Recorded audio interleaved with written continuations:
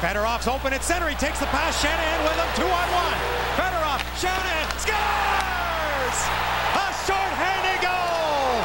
Brendan Shanahan from Sergei Fedorov. This game's tied up one apiece. Well, Darryl Sutter is going to be hot under the collar. There was no penalty called. Look at him. He can't believe it.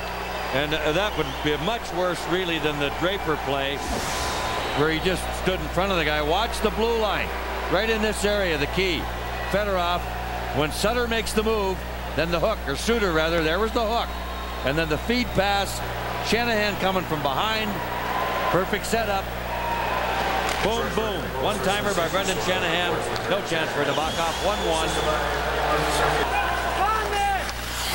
Scott Hannan to Owen Nolan. Lidstrom held it in to Fedorov. Nice move by Fedorov. Shanahan scores! What a shot! Brendan Shanahan is second of the night. And what a move by Sergei Fedorov to set him up. Wow. It's 2 to 1 Red Wings. It's exactly the spot that Jason Williams is right directly in front of our broadcast position here. Right into that top corner over the left arm of Nabokov. And you're right. Good play by Fedorov. Boy, did he ever avoid Suter. Oh, wow.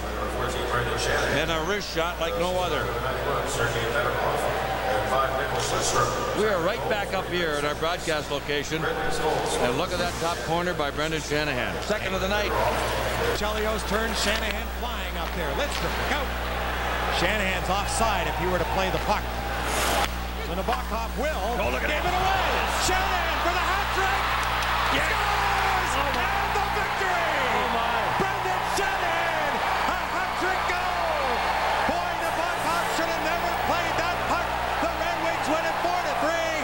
second shorthanded goal of the night. The hat trick for Brendan Shanahan. Well, just a bad break for the Sharks and Nabokov.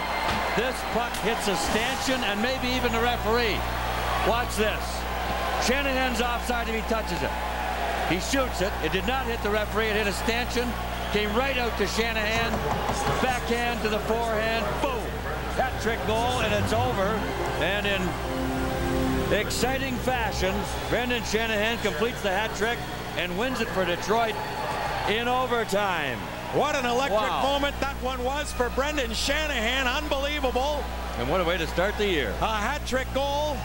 And Brendan Shanahan is now just 32 goals away from 500 for his career. A hat trick to uh-huh. kick things off. 12th of his career, and he is our McDonald's player of the game. And if you guessed correctly, you might win $25 in McDonald's gift certificates.